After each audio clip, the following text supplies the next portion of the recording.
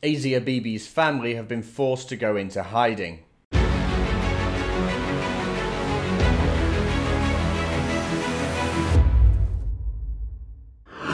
Hardline religious groups in Pakistan, you know who I'm talking about, have forced Asia Bibi's family to go into hiding.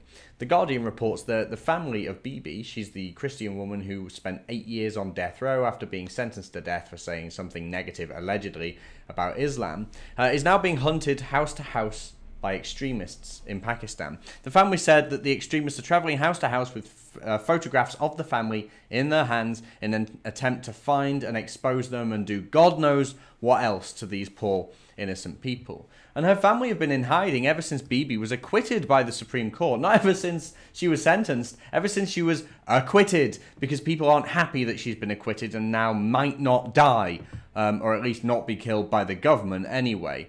Uh, and now that Bibi is in uh, protective custody as well. Uh, and that's a deal between the Islamic Party and the government. So let's break this down into like bare bones here.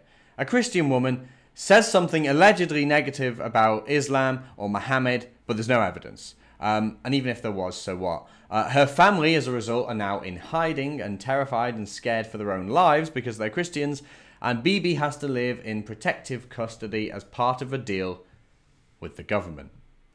So not only is Bibi having to deal with extremism from regular people on the streets who are going house to house to try and find and potentially kill her family, but she's also facing the extremism of her own government.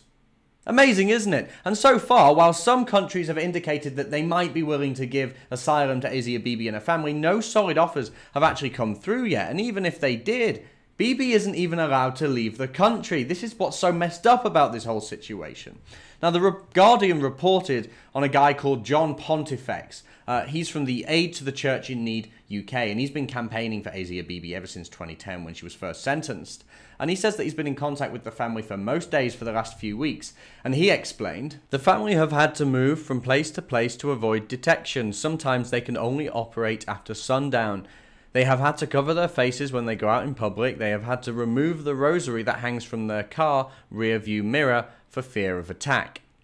And it's not even just the family, even her lawyer has had to flee the country. Lucky for him, Bibi can't do the same because his life was in danger. These people are surrounded by extremists who want them dead. And yet, the British government somehow thinks it's appropriate to continue giving this terrorist extremist state more than 460 million pounds a year in taxpayers' money. That's a huge amount of foreign aid, and I think it has to stop. Now, Penny Mordaunt, the uh, International Development Minister, has uh, indicated that she's planning on changing it. She wants to invest better in pa- Pakistan through the private sector, or things like that. But what I think will be better is if we stopped funding this extremist state entirely. Donald Trump just did it. Donald Trump just cut off 1.3 billion in aid to Pakistan, and they're groveling at his door trying to figure out, oh, what did we do wrong, Mr. Trump? What did we do wrong?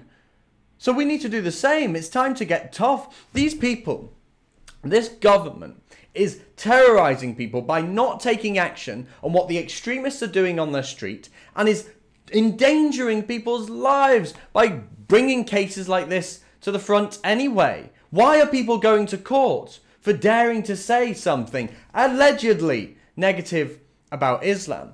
If we get tough on Pakistan and tell them that this isn't acceptable, we will only ever cooperate with civilized nations that don't practice barbaric theocratic rule. If we tell them this, they're going to have to listen. If we cut off that 460 million quid a year, they are going to listen, especially combined with what Trump's done so far. And I think we can do it. I think we can pr- pressure the government and Penny Mordaunt, the International Development Minister, to make a change.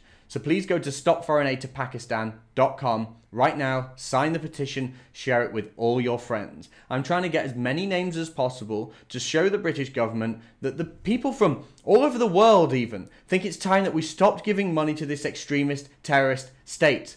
They're hurting people, they're endangering people's lives, and they're not listening when the rest of the world tells them this is wrong. It's time to do something. So please sign the petition and also consider chipping in to our campaign fund. I want to commission a public opinion poll here in the UK to find out just how many Brits want to stop foreign aid to Pakistan. I suspect it's a lot of people.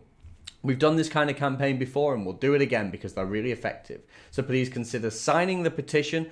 Donate if you can. I'll try and get that uh, billboard campaign going as well, if possible, if we raise enough. But we'll get that opinion poll out there. We'll pressure the British government, and hopefully, we can show Pakistan that the world wants them to end this theocratic rule, start treating people with respect, and not put people's lives in danger. Thanks for your help. Sign the petition and chip in if you can at stopforeignaidtopakistan.com and let's tell Penny Mordaunt we don't want this terrorist state getting a single penny more of our taxes.